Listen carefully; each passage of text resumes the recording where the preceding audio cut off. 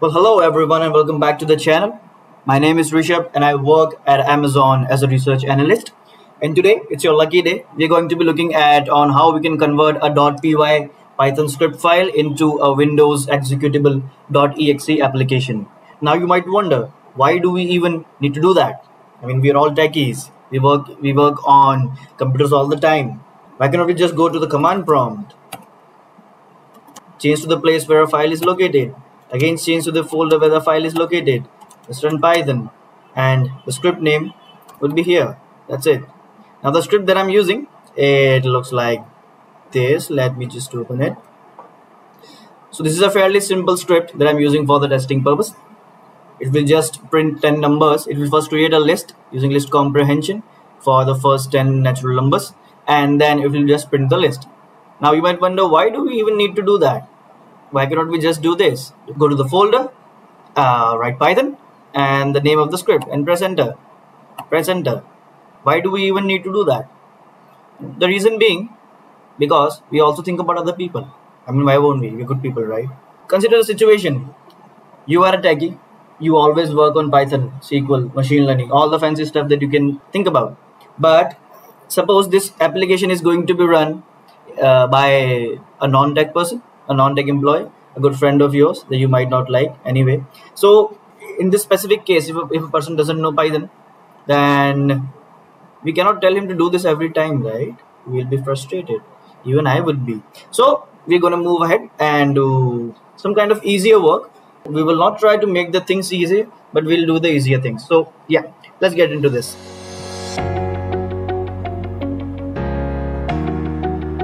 So for converting the .py file into an executable, a Windows executable application, we're going to be using the PyInstaller library that comes under pip. So you can go to command prompt or the Anaconda navigator and you can just write pip install PyInstaller. Now I've already installed it. So it's going to say that requirement already satisfied. I know, I know I'm keeping things satisfied. Okay. So I will already have it installed, but it might take some time for you to get it installed. And once you have installed it, what you need to do is you just go to the file location where the file is located. So my file is located in uh, this folder. And you can also check by typing the dir, which stands for directory command. That will give you information about all the files located in that specific folder. So we have the testscript.py file up here. So now what we are going to do is we're going to type PyInstaller and we're going to give it a command uh, specifically a CLI argument that would say that we would just want one executable file. So we'll input one file. The short form for one file is hyphen f and then we put in the name of the Python script that we want to be converted as an executable. Now we press enter and it's going to take some time. A few moments later. Now let's do one thing uh, let's see if the executable works. Now the executable if, if the executable works we should see a dist getting printed out. So we go to the same folder that we have our test script located. We go to the list folder. Let's just cut it and put it in the same folder. We refresh and then we run again. Yeah something came up but i think it was too quick. The windows closed uh, the window closed quite quite quickly. So what we're going to do is we're going to edit this file and add some uh, sleep into it. So we're going to import time. And after it's printed we're going to make it sleep for let's say 10 seconds. Here we go. And then definitely we need to again run this uh, PyInstaller command in order for it to generate the new executable. Now you can you may assume that this is one of the you know uh, one of the drawbacks of this that whenever you make changes to a script then you need to just run this again. And if you have a larger script it might take a lot of time depending on the hardware power that you have. So as you can see it's complete again. Let's uh, give that another try. Uh, we have this here.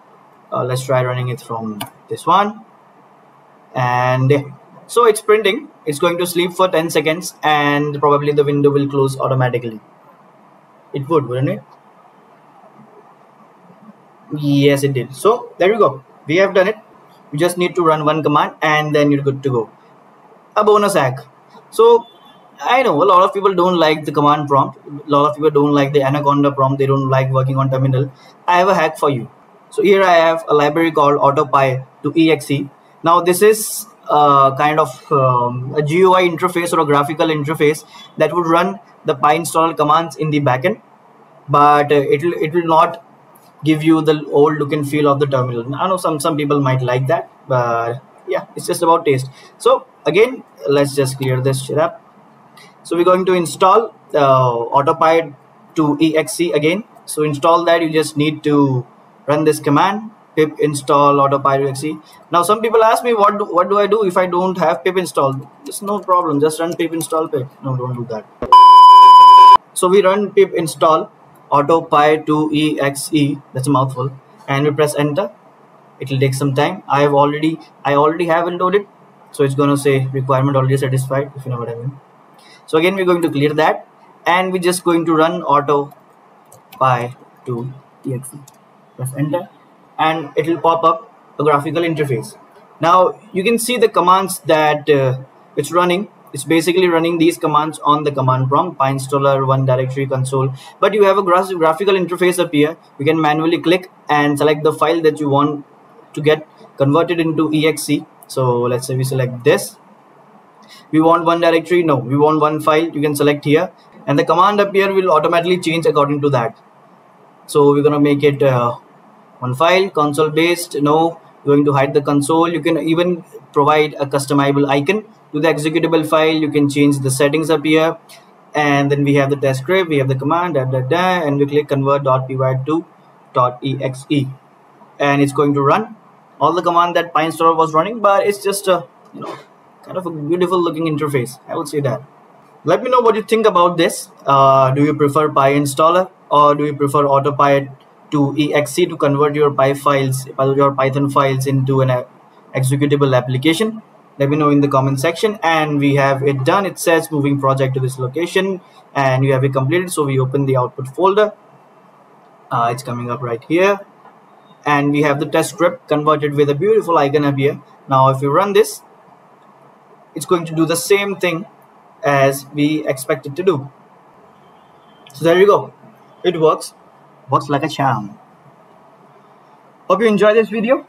And please let me know on the topics that you want us to be covered next. We are just trying to keep up things as simple as possible and provide you things that you would find useful in your day-to-day -day work. Hope this was useful. Uh, subscribe for more and I'll catch you guys in the next one. Bye-bye.